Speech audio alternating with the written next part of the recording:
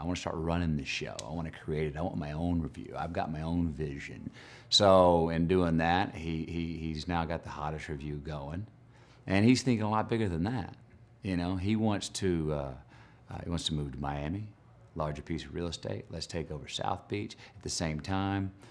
You know, he's he, he's got these dot comer ideas. You know, let's spread our content around the globe, around shit. Let's go. Let's get off the earth and go go astral if we can.